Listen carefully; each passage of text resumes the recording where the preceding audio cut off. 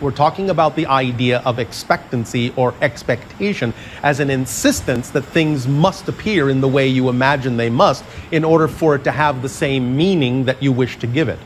Instead of allowing the higher mind to bring it to you in whatever form actually works best for you, and knowing that if you do that, the higher mind may actually provide you with a manifestation that is even greater than you were capable of imagining.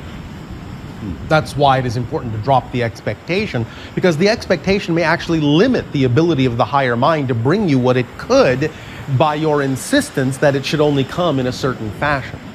You see, the visualization that is generated from your physical mind is only there to function as a symbol of the idea, and it's there for the purpose of generating the energy of excitement that that idea represents. The energy being the most important thing that will allow the higher mind to then use that energy to bring you the physical manifestation that may actually look different than you imagined it, but which will be the physical manifestation that actually represents the energy generated